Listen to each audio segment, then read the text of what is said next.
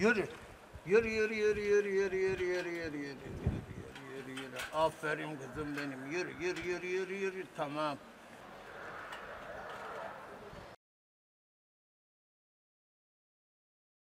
Yürü.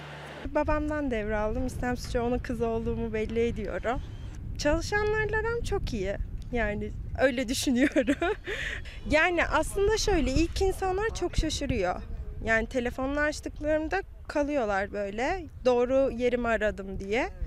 Ee, sonradan işte tebrik ediyorlar. Bu insanın hoşuna gidiyor ama kadınların yapamayacağı bir iş değil yani kolay bir iş. Bence avantajları kendine çok özgüven getiriyor. Kadınlar her şeyi özenerek yapıyor. Hani erkekler biraz düz gittikleri için hani böyle gelişine ama kadınlar bir tık daha özenerek hani insanın kendi çatısına yapılmak istendiği gibi yapılıyor. Evet, kızıma devrediyorum bu işlerimi. Çünkü e, baktım ki kızım başka yerde çalışacağına dedim gel kızım dedim. Bu işi dedim sen yürütürsün dedim. Geldi maşallah var yani.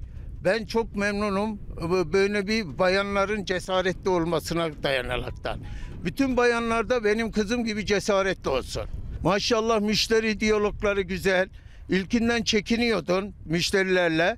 Ama şimdi maşallah e, tam bir e, şey yani esnaf oldu. Yeri gelir benimle beraber çatıya yardımcı olur.